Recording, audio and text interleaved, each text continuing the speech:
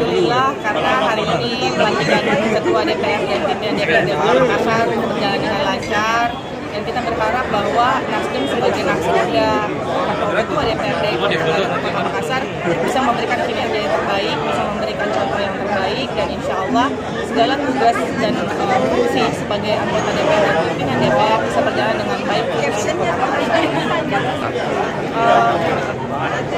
fraksi Nasdem harus menjadi fraksi yang aktif, di mana dalam artian uh, memberikan uh, pandangan dan juga pendapat yang terbaik dan memperjuangkan apa yang menjadi kepentingan masyarakat. Jadi apa pun itu yang paling utama adalah kepentingan masyarakat dan Nasdem harus berada di garda.